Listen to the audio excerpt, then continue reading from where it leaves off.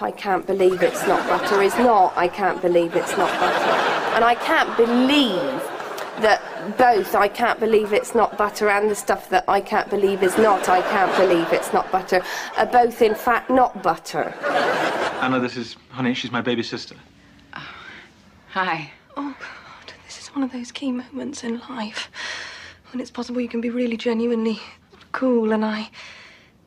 I'm going to fail just a hundred percent. I, I- I genuinely believe, and I've believed for some time now, that, that, that we could be best friends. So what do you think? Oh, sorry, love, no autographs. I'm taking a break. Stalker. Snowdrops on roses and noses on kittens. Da da dee da da da da da da mittens. Tum titty tum titty tum titty tings. These are a few of my favourite things. Inflatable boy goes into inflatable school with inflatable headmaster. Oh, he's lucky he got in. Feel very isolated in a normal school. Go on. Yeah.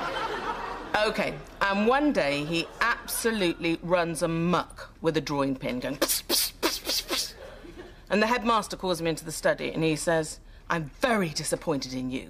You've let me down, you've let yourself down, you've let the whole school down. What is the worst thing you can do in an inflatable school?